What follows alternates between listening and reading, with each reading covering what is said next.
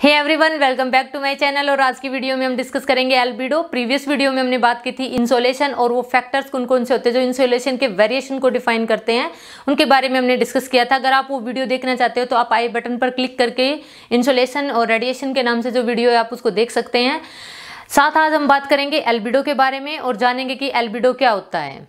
तो चलिए अब हम स्टार्ट करते हैं अपनी वीडियो को। एल्बिडो क्या होता है? एल्बिडो किसी भी सरफेस की वो कैपेसिटी होती है जो कि जो सन की रेजेज है, उनको रिफ्लेक्ट कितनी इस पावर से करती हैं, वही उसका एल्बिडो कहा जाता है। यानी कि the capacity of a surface to reflect the sun's rays is called is albedo कि एल्बिडो किसी भी सरफेस का एल्बिडो जितना हाई होगा, वहाँ का टेम्परेचर उतना ही लो होगा। और जितना अगर वहाँ का एल्बिडो कम है किसी भी लोकेशन पर तो वहाँ का टेम्परेचर हाई होगा।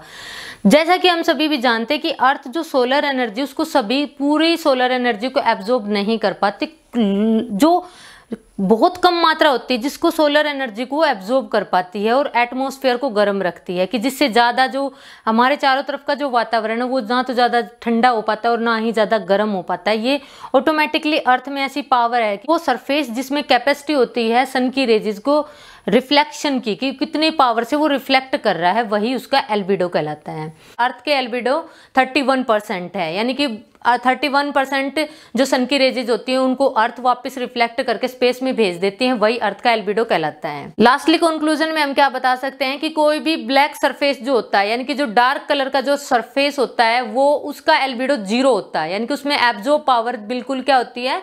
ज़्यादा होती है और रिफ्लेक्शन पावर कम होती है। जैसे हम बता भी सकते हैं कि सर्दियों में ज़्यादातर जब हम ब्लैक कलर का यूज़ करते हैं, यानी कि डार्क कलर के कपड़े पहनते हैं, वो क्यों? क्योंकि वो सन की रेजेज को जितनी भी मिलती है, उनको एब्जॉर्ब करके एक हीट वार्म अप करते हैं वहीं पर। अगर हम बात करें गर्मियों की तो उनमें जो लाइट कलर ज़्यादा यूज़ किए जाते हैं, क्योंकि उनमें क्या होती है कि रिफ्लेक्शन की पावर होती है कि सन की रेजेज जैसे ही टकराएँगे, वो वापस रिफ्लेक्ट हो जाएँगे और हीट या जो वो वार्म अप है, वो कम मिल पाएगा। तो इसलिए इनके जो रंग हैं, यानी कि सरफेस का भी काफ़ी इफ़ेक्ट पड़ता है एल्बिडो पर।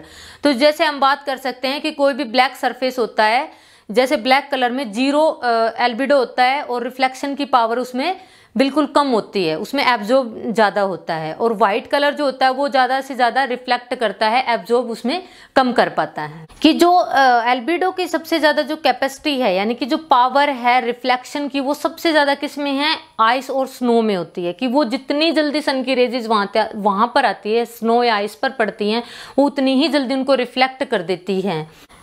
जो स्नो और आइस की रिफ्लेक्शन जो पावर होती है, वो 90 टू 95 परसेंट होती है। यानी कि वो एब्जॉर्ब बहुत कम मात्रा में करती है और बाकी सभी को रिफ्लेक्ट कर देती हैं। सबसे ज़्यादा पावर एल्बिडो की किसमें है? आइस और स्नो में मिलती है। आगे हम बात करें फॉरेस्ट की, कि फॉरेस्ट जो है, वो सबसे ज़्यादा सोलर एनर्जी को एब्जॉर्ब करते हैं।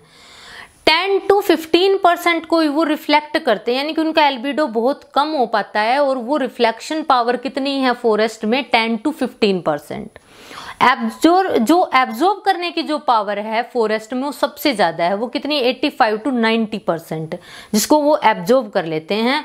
और जो फोटोसिंथेसिस जो प्रोसेस होती है कि खाना बनाने की जो प्रक्रिया होती है पौधों की, वो भी किससे करते हैं? वो सन की रेजिज से ही करते हैं।